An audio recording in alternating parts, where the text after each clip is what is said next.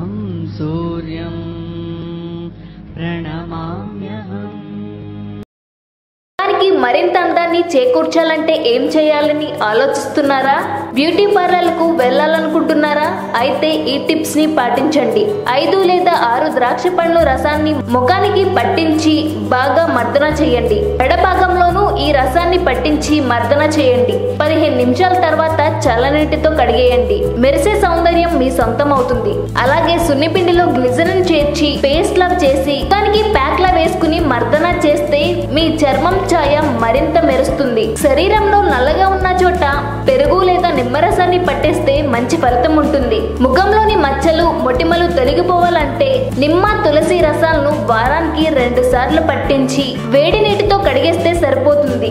మీ ముఖం అందంగా ఆరోగ్యంగా ఉండాలంటే ఈ టిప్స్ని పాటించండి. ఈ వీడియో కనుక మీకు నచ్చినట్టయితే లైక్ చేయండి షేర్ చేయండి. మరిన్ని లేటెస్ట్ అప్డేట్స్ కోసం మా ఛానల్ని సబ్స్క్రైబ్ చేయండి.